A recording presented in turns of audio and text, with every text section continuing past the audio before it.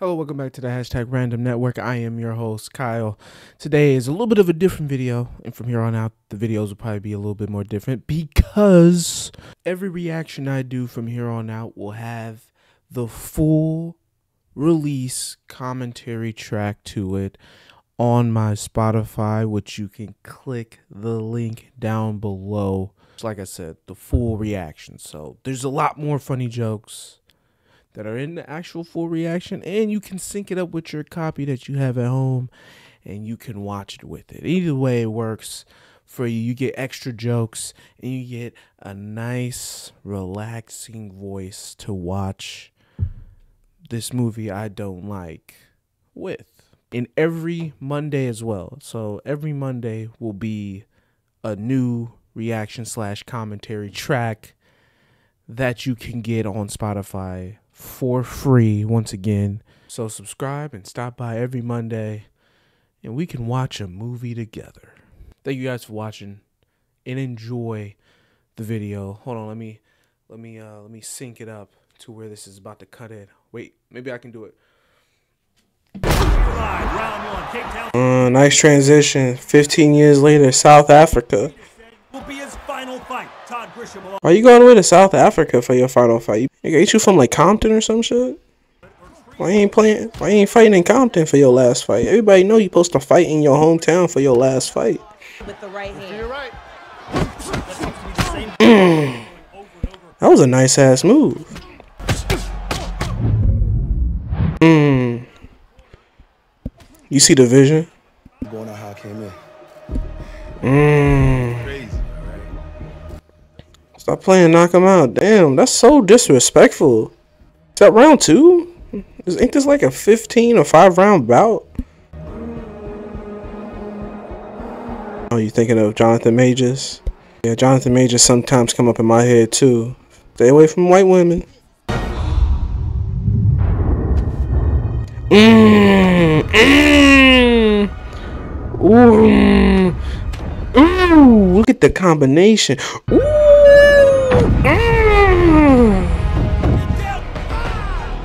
That nigga arching his back? He trying to get the dick or something? Look at that. Creed 3. This shit opened up like a superhero movie. This is when he about to be the perfect dad now. Look at him. Got the perfect house in Los Angeles and shit like that. They're living off the uh, living off the side of a Los Angeles mountain somewhere. Maybe I'm just jealous. Maybe that's why I don't like this movie. I want to be Michael B. Jordan. No offense to deaf, you know, people. It's not my preference to have a deaf daughter. If I do have a deaf daughter, I will love her. I just don't want to learn sign language. That's it. Maybe that's where all this stems from. I know I would never want to learn sign language from my deaf daughter. Fuck this perfect ass nigga, bro. You get her to bed? I did. Mm. So I'm not gonna lie, I had to bribe her with about six scoops of ice cream. I don't even know how she sleeps. Retirement made you soft, you know that? The ADR made you weak, you know that? Uh oh, Mr. Majors. He's coming home from prison. This is real life shit too. That's him really coming home from prison. Stay away from white women. Ain't this guy a real boxer? Hey Felix, ven aquí. And this nigga can speak Spanish. He's speaking Spanish for, for the Mexican niggas too. I understand exactly what they're asking. Drago's got a bigger name, that's true. But Felix got the belt. His split's gotta be bigger. This is that is probably one of the worst directed scenes I've seen in a while. Damian, Michael B. Jordan is a weird enigma of an actor. So there's the reason why he's so weird of an actor is because he's he he he rises sometimes to a point of greatness in acting. You're like, damn, this dude's really goddamn good. And then a scene just like that, he will just plummet down all the way to the bottom of like, is he even supposed to be an actor? Should he even be doing this? Easy, easy. Damn, bro. You know how long it's been since I had this shit? How long? How long? 18 years, bro. Damn, 18 years, no steak? Understand why you acting like that. Damn, 18 years? Bro, can you imagine going to prison for 18 years? Your asshole would be too loose to even come back out the shit. Well, he's a fighter, so he'd be the one taking ass. Ain't no one taking his ass. I know he fucked the dude once. How did he not get out on good behavior at some point? That's how I know he was fighting and taking ass in the in prison. You gotta have your hands full with that one. Look how big this house is. This shit look like a museum. What the fuck? Oh, come on, mama. You're the Stop the worst. Don't mean it. Don't mean it. Don't mean it. Don't mean it. Oh, this is funny. Funny acting. Funny acting.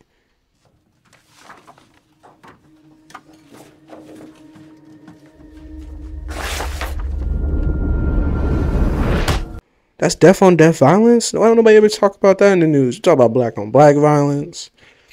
Where's the death on death? Couldn't even hear it coming. a deaf school like that, like they're not still kids? I mean, what did you expect, Then Adonis? she should learn how to defend herself. Okay, I'm I mean, if you deaf, you shouldn't be bullying people. You can't be bullying people if you deaf. If you deaf and blind, you shouldn't be able to bully people. Because you have no way of knowing you have no way of knowing when to defend yourself until it's too late. So, how long have you known each other? I mean, we back, way back. We was like, we was like brothers. I think Diddy had a line about that. Play, fight, undercovers. We were more than friends. We were like brothers. Uh. You got Tessa Thompson touching his ass and shit. See, you know he, you know he directed Tessa to do that. Hey, when you come in, touch my ass. You know, he asked me to fight Felix. For real? Yeah, heavyweight champion of the world. And he wants a shot. Felix is a heavyweight. Listen, bro, I'm gonna be honest with you. I saw that little Mexican nigga. That boy is not a heavyweight. That man is at most a middleweight. Bantam, maybe. That's not a heavyweight, bro. Look at them legs. Look at that body. That's not a heavyweight.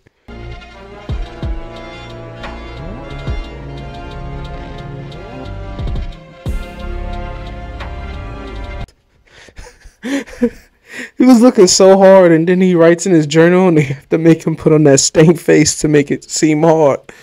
You can't make a nigga writing in his journal look hard. Dear diary, fuck Adonis Creed. I really don't care about his deaf daughters. I mean, I guess they're building her up for the next movie. Is there, is there a deaf boxer? We should look that up. Okay, there is a deaf boxer. Shout out Julian Quiet Storm Smith. Alright, there's been many of deaf boxers. You got Mario Diag Di- Diag Diagta. He's Italian professional boxer. He passed away in 2009. Okay, he was a boxer back in this probably the 40s and 50s. Alright, okay, never mind. There's been deaf boxers. Now those two, Chavez, Drago, I'm gonna make sure that's the fight of the year. They are not in the same weight class. Look, they would not be fighting each other. He's towering over him. But after almost two decades behind bars, he's only now making his professional debut. It's the longest hiatus in the history of boxing, because I'm back now. Welcome back, Damian. Go out there and give him hell. Show him why what, what prison does to a man for 18 years. Don't show him everything, though. Uh, you know, this family's watching.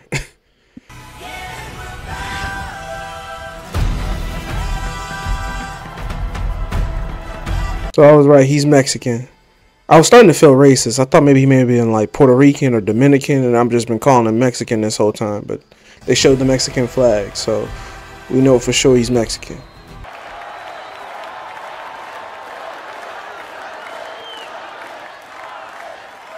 That's disrespectful. Tessa, Tessa Thompson just be disrespecting niggas in this ring, bro. Oh, wow. What an awkward punch. Is it illegal to punch a nigga in the shoulder? It- that's illegal. That man just elbowed him in his in his in his shoulder on that one. Damn! Damn! See, this is why he shouldn't be in fight in there fighting actual heavyweights.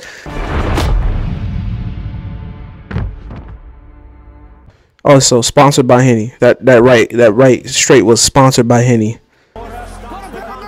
This was a problem that I also had with this movie as well.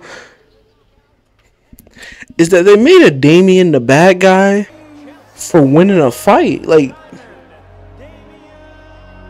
like why are y'all looking this intently at him? You dog already ain't no making nothing right, ain't no duke nothing. I can fix no. You can't. What? What? You stay away from the gym. You do that. Why are people mad that he lost the fight? What happens if he? What happens if was was it fixed that Drago wasn't gonna beat him? Was the whole fight fixed this whole time? So that when he lost the fight to this new dude, it was like, how dare you? Because that nigga could have fought Drago, and the same thing could have happened. Got his ass knocked out. Then what happens?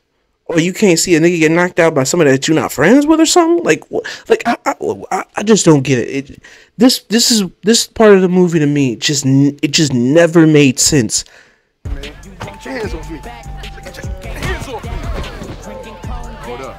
That nigga's dead for sure. A heavyweight champion just lets loose an, an actual white hook right straight on you.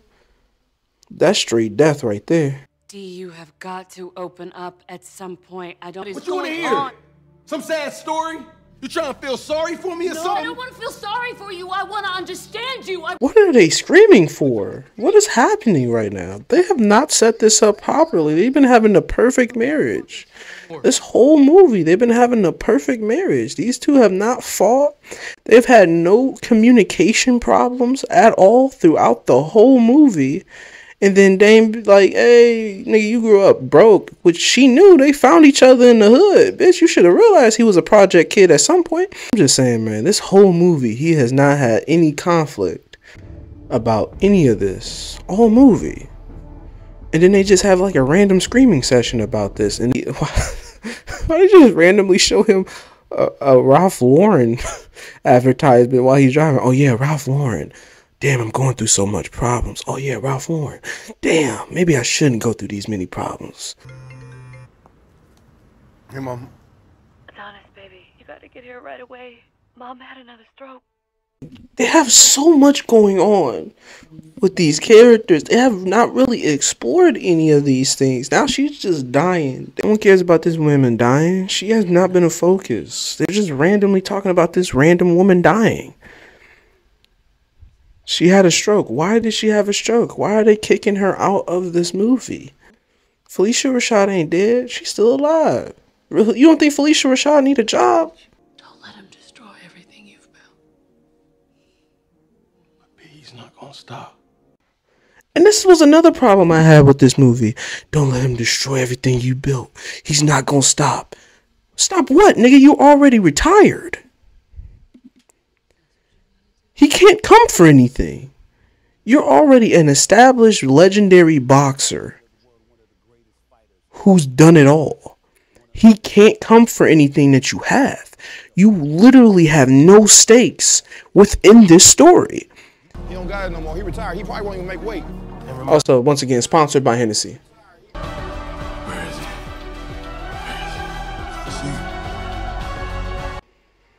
Mm, because the hardest fighter that you have to actually compete against is yourself.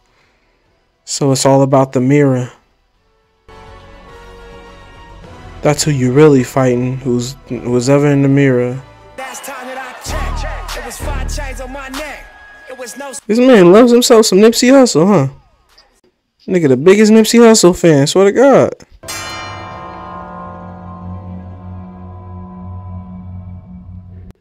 I like this part. This this is some great creative direction right here, man. This is the great parts of this movie. The fight is great. Okay, green screen. They should. I don't think they should have shown that part. Go out there, be Adonis Creed. Be that nigga. Stop playing with him. Be that nigga, bro. Damn! Straight right. Haymaker. Hook. Maybe I am the greatest nigga alive. This is just the Black Panther in credit. It it's it's made the exact same way. It even it comes in the exact same way. That's the end of that movie. Um, I still don't like it. It.